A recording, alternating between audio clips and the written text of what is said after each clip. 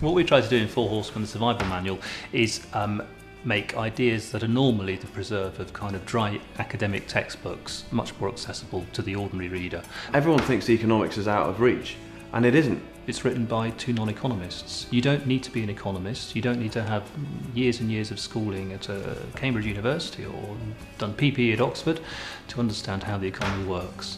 Uh, it seems, in fact, that it's better if you don't, because many of the people who did have those kinds of educations are currently running things and look at the mess we're in.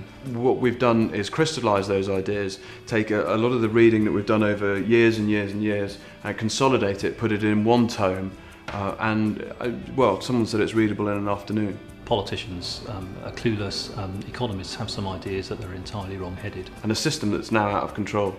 Or beyond the control of democratic governments. The problems that we're facing at the moment, the financial crisis, the environmental crisis, the, the, the culture wars um, that are going on all around us, aren't going to solve themselves. The only way we're going to find solutions to these problems is if more people understand the root causes and realise what needs to change in order to address them. It's not that the system's failed, the system's work perfectly according to the rules that it's been set on. And what we do in the book is highlight the rules and say if we want to change the system, we've got to change the rules. No one else will look after it. No one else is looking after it. What we have to do is get clued up um, and uh, re-engage, fundamentally re-engage.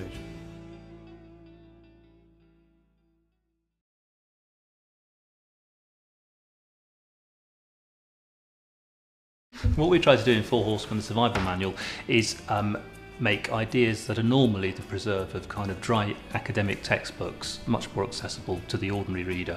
Everyone thinks economics is out of reach, and it isn't. It's written by two of those kinds of educations who are currently running things and look at the mess we're in.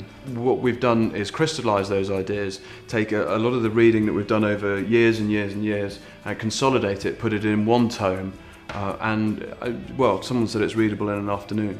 Um, that are going on all around us aren't going to solve themselves. The only way we're going to find solutions to these problems is if more people understand the root causes and realise what needs to change in order to address them.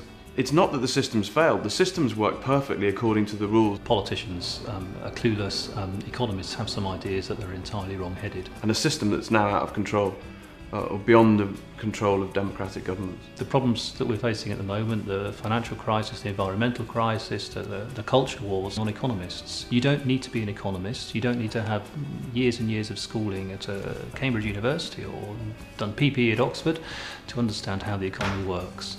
Uh, it seems, in fact, that it's better if you don't, because many of the people who did have